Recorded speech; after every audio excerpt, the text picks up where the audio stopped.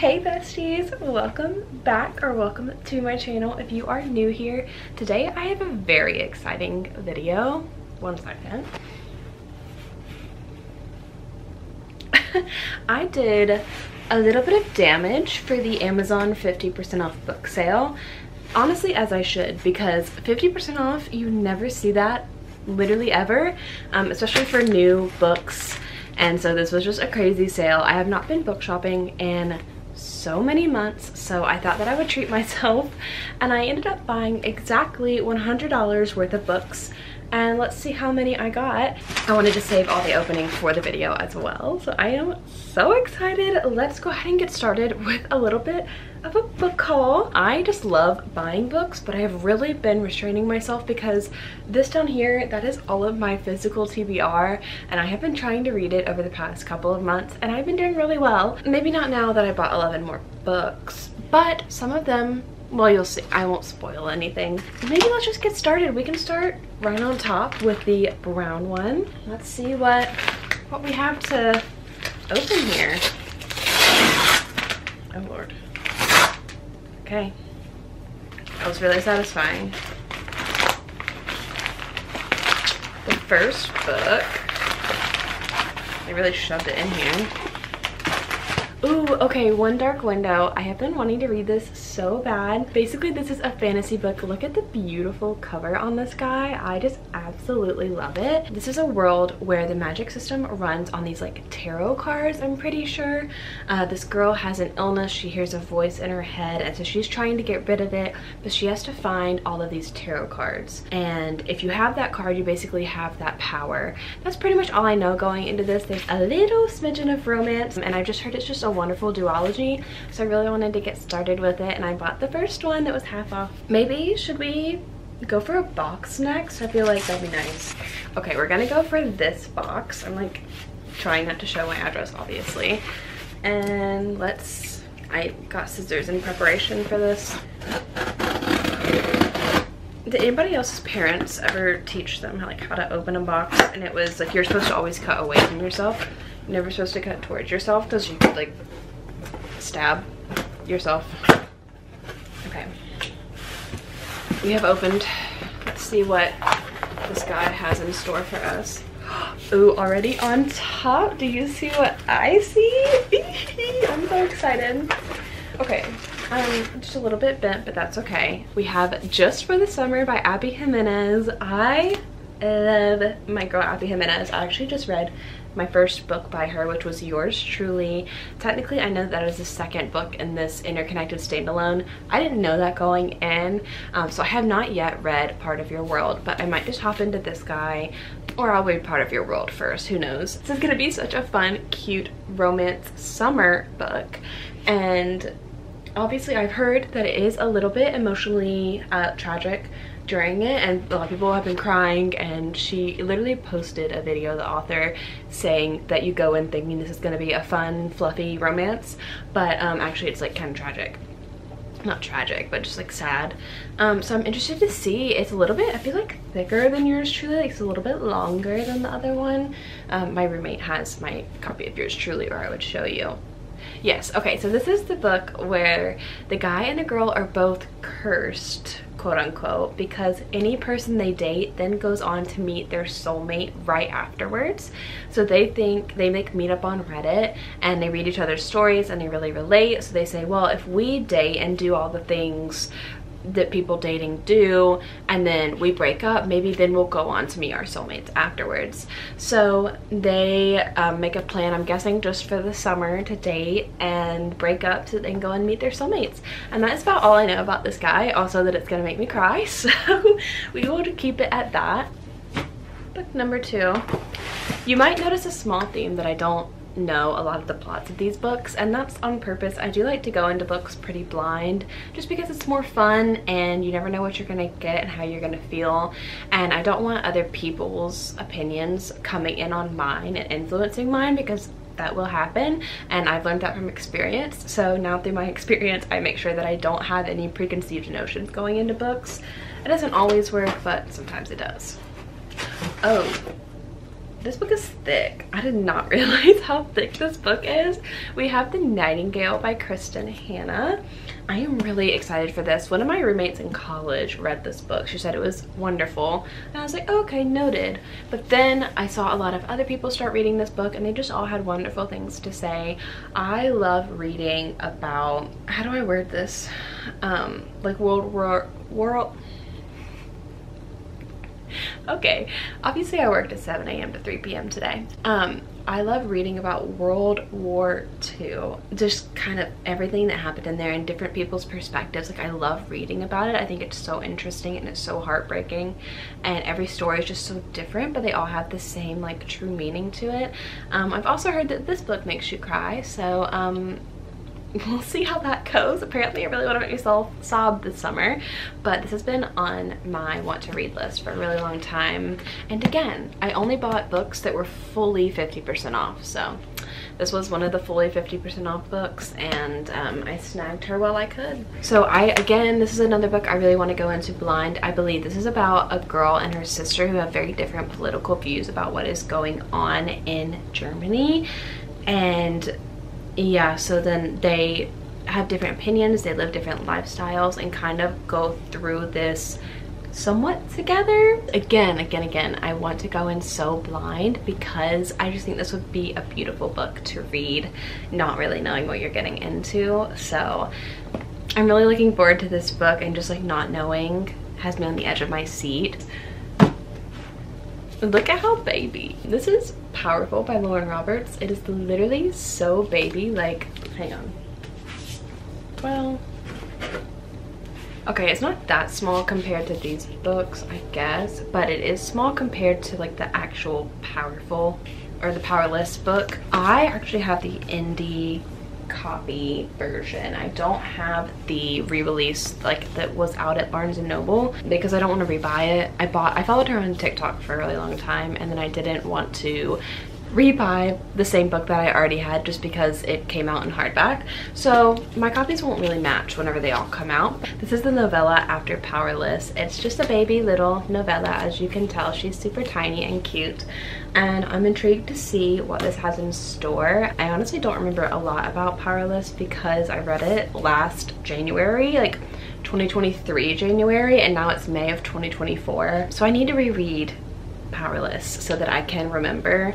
Although I do remember what happens to specific characters in this book, so that I'm not looking forward to as much but this should be really interesting and I think that it would just be like a nice little read especially if I just need something really quick and to get me out of a slump, which low-key I am in right now. This book, uh, like I said, is the novella for Powerless. This follows Adena, who is a side character in the Powerless first book and we kind of see what happens to her in that first book and this is kind of telling her story while Paedyn is away in the trials.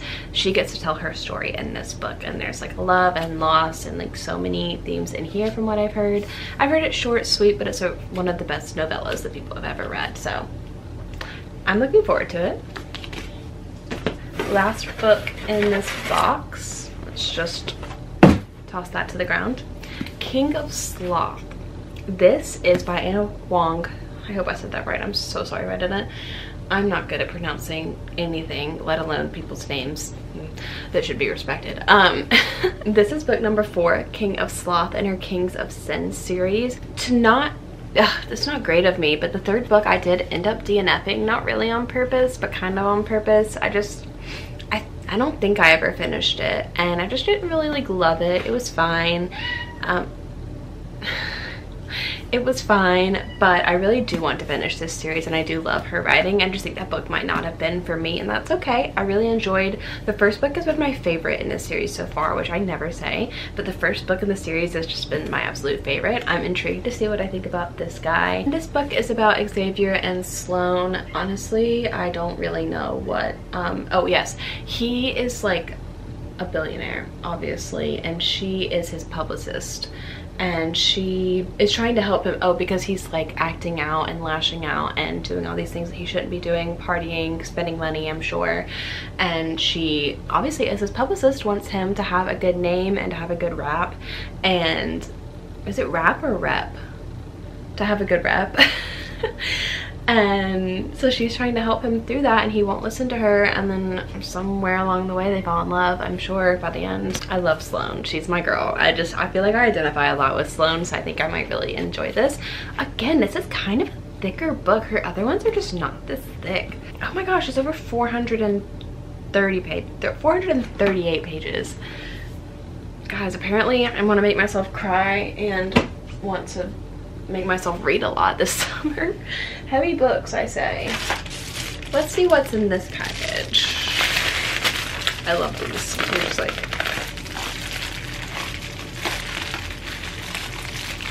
Okay, Let's see. You guys wanna look? I won't look. What's in it? Oh, okay. This was a last minute addition to my cart. I decided to get the seven year slip. I wanted to get like an even a hundred dollars worth of stuff. I don't know why. That just is how my brain works. I just wanted it to be even, okay? And so I decided to put in the seven year slip and I've just heard so many great things about this. I've never read anything by this author. It is by Ashley Poston is how I've heard people pronounce it. Um, I hope that is correct again. But basically this girl has an apartment and it slips into the past so um, but not all the time only like sometimes whenever she comes home the apartment will like be seven years in the past and there is a guy who is there whenever it's seven years in the past she's like grieving her aunt I'm pretty sure. And there's just a lot of themes of grief and like love and um, healing in this book from what I've heard and it makes people sob and it also makes people laugh and I just really would love this to read this book a lot of people that I watch have given it five stars so of course I had to add it to the list Boop. I'm gonna do this package and then I'm gonna do the last big box because the last big box um, it's kind of fun and I think you guys will like, will especially like the last box. Oh, that was so satisfying. I wish I could have shown you. So, let's just, yeah, I knew, I knew from that you would know what it is. So this is Beach Read by Emily Henry. This is going to complete my Emily Henry collection besides Funny Story, which I'm waiting to come out in paperback because it's going to match the rest of my collection. I literally waited almost a year for Happy Place to come out in paperback so that it would match my collection and that is my favorite Emily Henry book literally ever. Off on a tangent, I haven't read Beach Read yet. However, I'm going to the beach this week so what better book to read on the beach than Beach Read itself? So of course you know that I will be bringing my Emily Henry collection to the beach with me this week. So she's kind of in a writing slump so he agrees to trade genres with her. She writes like rom-coms, he writes great American novels. So he they end up trading so that they can kind of get out of this writer's block that they're facing and obviously something ensues because she starts taking him on little rom-com inspired dates to kind of get him inspired to write and you know how could you not fall in love whenever somebody does that for you that's so cute and i'm really excited to read this and just to see what it is all about um, the cover is just so adorable to me and i'm excited to complete my emily henry collection besides her first like three books but you know all the like classic the iconic Emily Henry books. This is my last one of hers. And the spine, like, ah, I just love how cute like all of her books are. She just has such cute little spines on all of her books. Anyways, this last package, we're gonna, you're gonna love. Let me just, don't cut the books, don't cut the books. okay, so I have been waiting on this for literally forever. I have been waiting for a perfect time to finish my Throne of Glass collection. Oddly enough, I have the last four books in the series. Well, I have Heir of Fire and the last three books in the series because I read the last three books physically because I have the Kindle e-reader like bind up of them and I just thought it would be too difficult to try and read the tandem on there. So I bought them physically. I didn't even end up doing the tandem. I just read them physically. I don't even know why I did that. But and then I found Heir of Fire on sale at Books a Million so obviously I bought it. So I just needed the first four books and I've just kind of been waiting on a good book sale that would like give me an excuse to buy four books that I've already read but obviously I need to complete my collection up here like she's sad she's not completed so first of course I have the Assassin's Blade by Sarah J Maas I just went on a rant as if you guys knew what I was talking about, but I assume that you know what I'm talking about. I'll give you a rundown in a minute. Let's see if this holds up. Okay. And then I have the technical first book in the series, Throne of Glass. We can go on this tangent another time, but read Assassin's Blade first, then read Throne of Glass. That I will die on that hill. I will die on it because I didn't do it and I was so mad that I didn't do that because I didn't know. I didn't know any better. And then, of course, we have Crown of Midnight.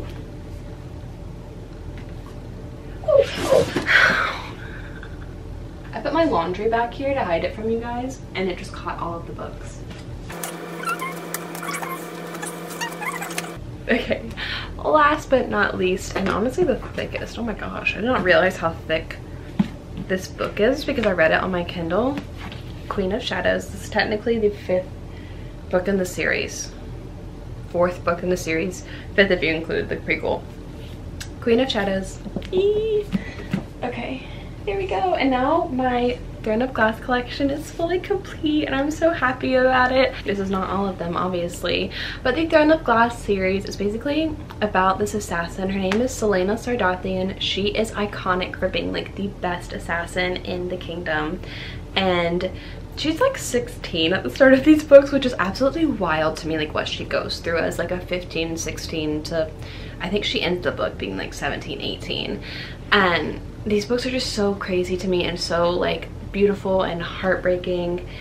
I haven't even given you a synopsis and I'm already going off about how much I love these books. But she basically has to compete in these trials and fight to survive. Even though she doesn't really want what is being offered to her for her survival she just wants to survive. So she is going through the motions of this trial and it is just beautiful and heartbreaking and I've already said it but read it read Assassin's Blade first. This is a series of prequels um, like little novellas. Oh my gosh and you won't understand them and you might think that they're boring and I get it. I truly I get it because I went through it. I listened to the audiobook of it. If it helps do it.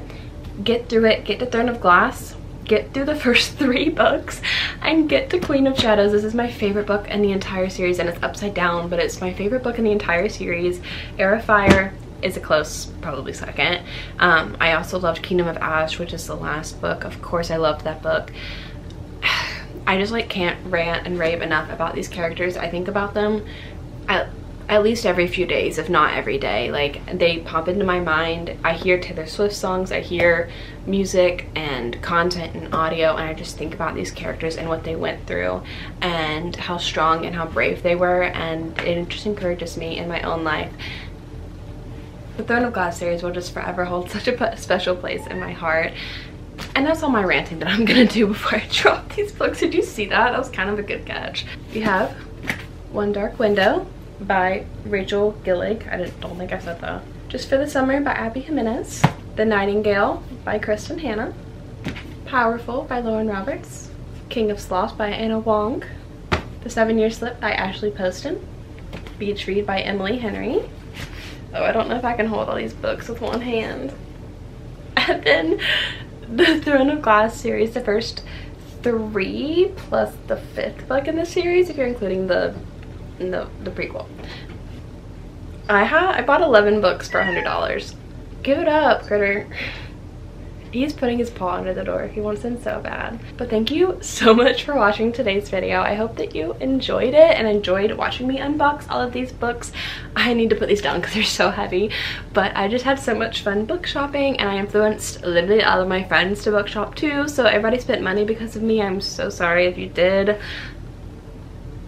Don't forget to like, comment, and subscribe, and I will see you the next time. Bye!